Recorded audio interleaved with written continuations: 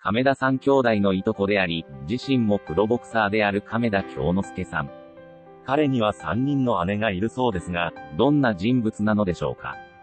父は亀田史郎さんの兄だということで、それだけで怖そうですよね。今回は、亀田さんの家族について、また彼女がいるのか、もしくは結婚しているかどうか。また、2022年現在何をしているのかを調べていきます。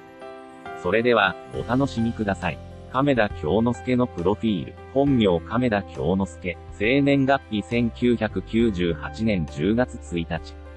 身長173センチメートル。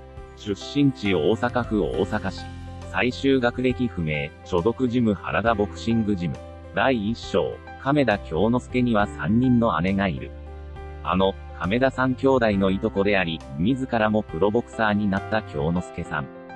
第4代日本フェザー級ユース王座を獲得するなど、それなりの実績を残しているようです。若い頃は荒削りな喧嘩スタイルのボクサー、という評判もありましたが、しっかりとガードを固め、的確にパンチを当てていくスキルが身についているようですね。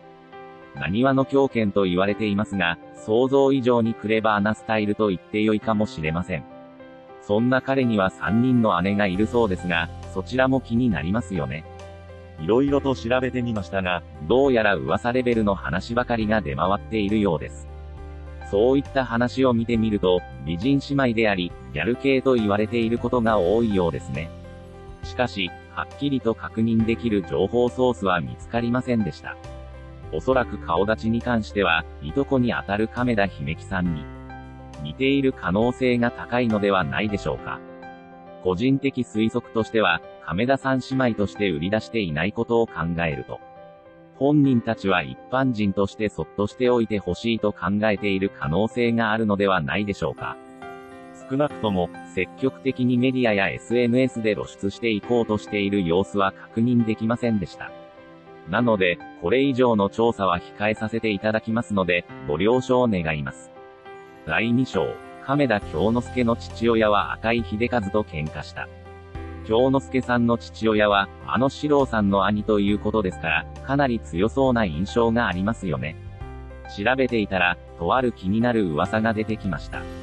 なんと四郎さんの一番上の兄が、あの芸能界喧嘩最強とも噂されている俳優の、赤井秀和さんと喧嘩をしていたというのです。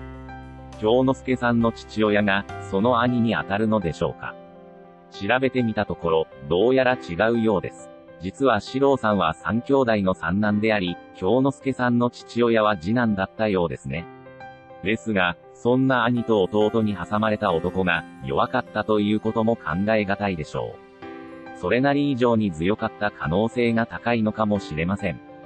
ちなみに、京之助さんにボクシングを教えたのは四郎さんのようです。なので、父親はボクサーではなかったのかもしれませんね。いずれにせよ、亀高は色々と話題に事欠かない一家であることは間違いなさそうです。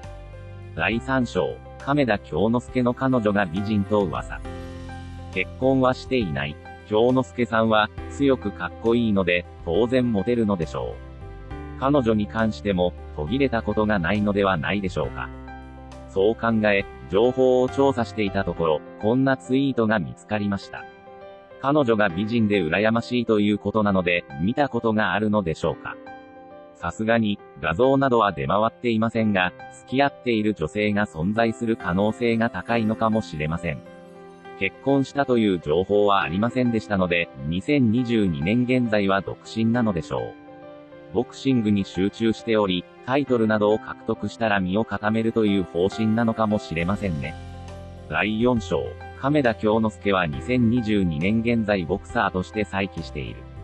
京之助さんは、暴言などに対する処分として、2021年11月13日から、6ヶ月のライセンス停止処分を受けていました。